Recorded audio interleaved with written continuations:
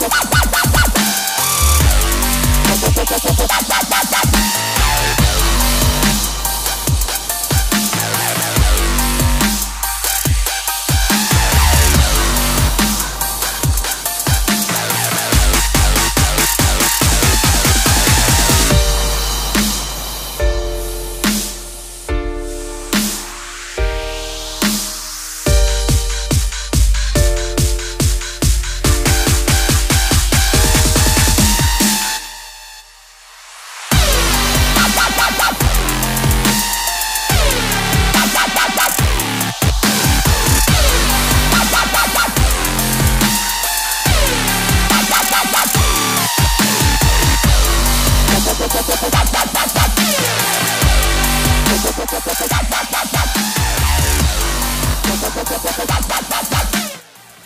Been keeping my eye out for a drone uh, for a while, actually. Um, as a lot of you watching this channel will know, I metal detect.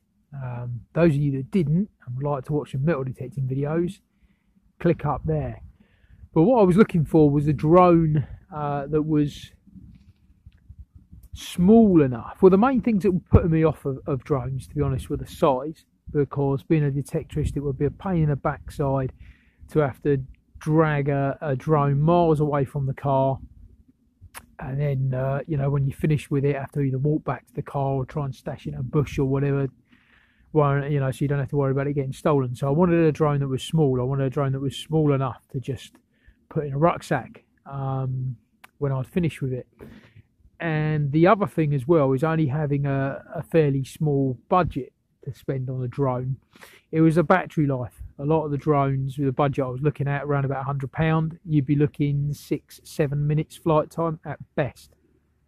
So it was size and battery life uh, were the two most important things to me. So I started looking around and I found this little beauty. Uh, it's the Tello, uh, DJI Tello. Um, now, what appealed to me about it was the size. Uh, I'll show you. I mean, this literally fits into a, a biscuit tin uh, and then into your rucksack. It's incredibly light as well.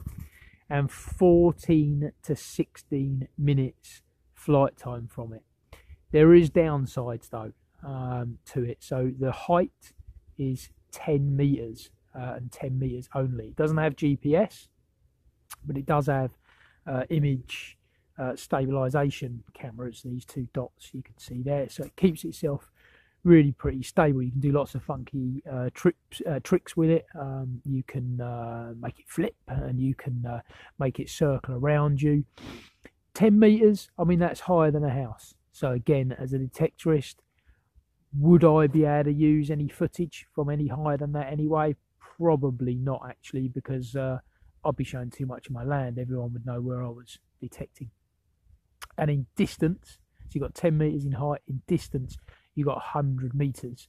Um, again, more than uh, adequate uh, for for what I needed. So main advantage: battery life, 14 to 16 uh, minutes, and size. It is tiny. It's controlled by your mobile phone as well, which was another real bonus. So your control box is your mobile phone. And I love that idea again because it's something else that you haven't got to carry around with you. So let's take a look at the DJI Tello in flight. So there she is, and uh, we're going to take off. So uh, we literally, I'll, sh I'll, show you the screen uh, that you get on your mobile phone uh, in a minute, but it's uh, very, very simple, very easy to do. And there it goes. Um, so pretty cool. I'm not doing anything with the controls at all at the moment. It's just holding itself. Uh, really pretty stable. Fairly windy as well today, so and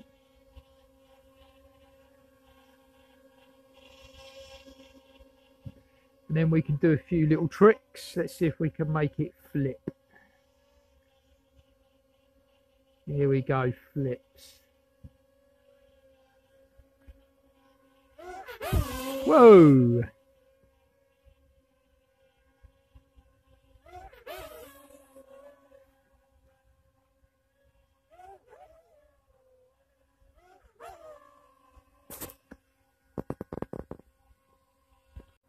There she is.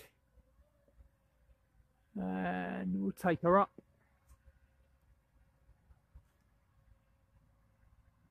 And away.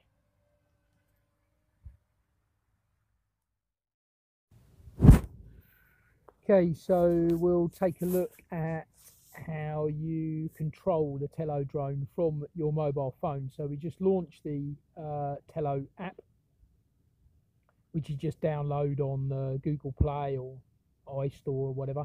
Then we've got to connect it because it's connected using Wi-Fi. Um, so I just need to turn the Wi-Fi on, obviously on my phone, find the Tello, uh, connect to that, and go back to the app. So that's it. We're all uh, connected now. Just take myself, and you can see now I've got whatever the drone's seeing. I just see straight away on my mobile phone. Slide to take off. Couldn't be any easier. And oh, and what happened there was I had a twig in the way of one of the propellers. So let's just move it so it's clear and we'll take off again. And there we go. We're in the air. Very, very uh, easy uh, to control. As you can see, I'm just pushing on the uh, left uh, joypad there. Um, that's your up and down uh, on the left and you're turning round and then the joypad on your right is your uh, direction. So very very easy to control and it does keep itself pretty stable. Um, I mean I've got friends that have got drones that are far more stable, um, but they cost a lot more money than uh, than ninety pounds. You can see there uh, it's giving the Wi-Fi uh, warning um, it seems to do that quite prematurely, to be honest. You, um, I mean, that, that was nowhere near uh, its range and it's giving the Wi Fi signal. It's never uh, actually caused the problem. So, real, real easy uh, to control. And uh, then we're going to, I'm going to change it into fast mode. The fast uh, does really drain the battery and it also uh, affects the quality of the footage that you record. but if you're in high wind, it makes the propellers work a little bit faster, uh, so it makes it more stable. Uh, and I, I, would say this drone, because it is small and light, it's really susceptible to wind. Um, as you can see, the image kind of starting to struggle uh, a little bit now on fast. It's almost like uh, the camera can't keep up with the speed that the drone moves at on fast. So you get this kind of glitching uh, effect. Um, and when you stop, like you see there, you get that real judder um, when you stop. So best um, just to use it in slow mode in all honesty get longer battery life out of it as well but as i say fast can be handy if it's really really windy so, I mean, the picture quality is not perfect. Um, and it's powered by Wi-Fi. It's connected by Wi-Fi, and actually these fields have a lot of uh, overhead cables uh, around them, which does affect the drone. But I think if you just want a drone for metal detecting that is simple and easy to use if you want a selfie drone, essentially, then the DJI Tello could be the drone for you.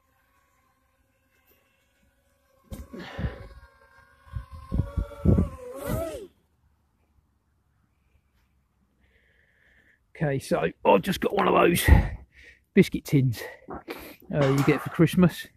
And uh, I just dropped the drone in there. And although you get 14 16 minutes battery life anyway what I found quite handy is just get a battery pack five pound uh, from Poundland. Keep the battery pack in the box. And then even if you do use all your available battery chuck it back in your rucksack get it charging up. And then when you take it out it's fully charged again so uh, I find generally I can get uh, two charges out of that uh, that battery pack from Poundland. Pop it in the pack. And you're good to go detecting.